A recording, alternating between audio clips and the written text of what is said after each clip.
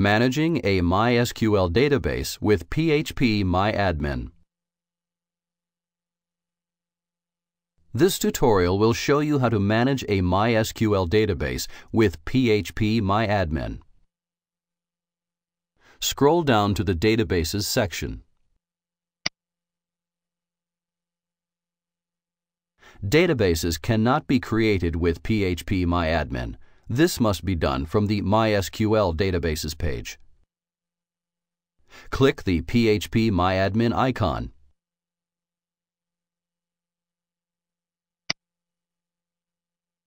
For this demonstration, we're going to work with the demo123 underscore mydb database.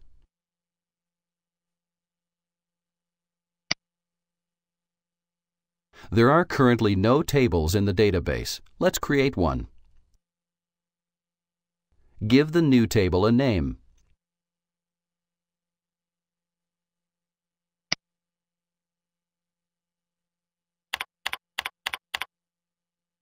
Enter how many fields the table should have.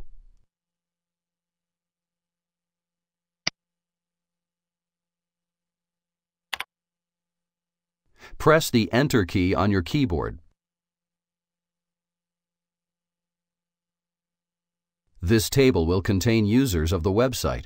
It will have two fields, a username, the primary field of the table, and an email address. We'll start with a field name.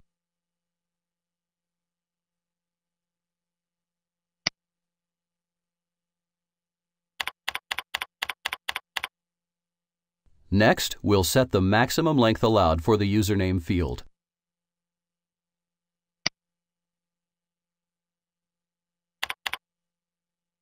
Click the radio button to make this field the primary field of the table. Repeat the process for the second field.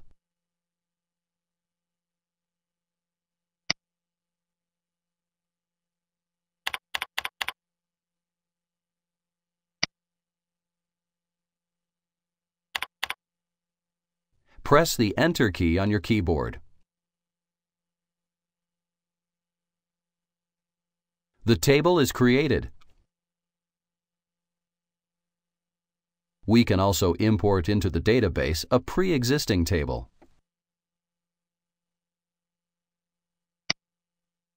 Click the Browse button and find the SQL file on your local machine.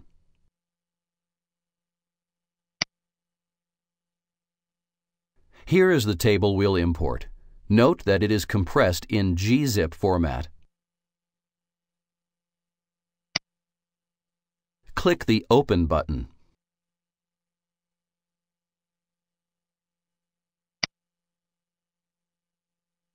Press the Enter key on your keyboard. The table is imported. Let's take a look at it. Click the Dogs link.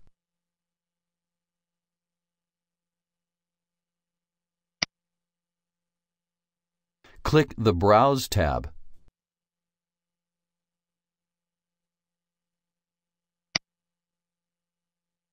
Here are the contents of the table.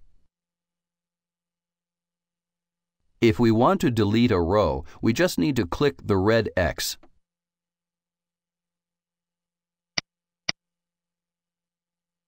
click the OK button.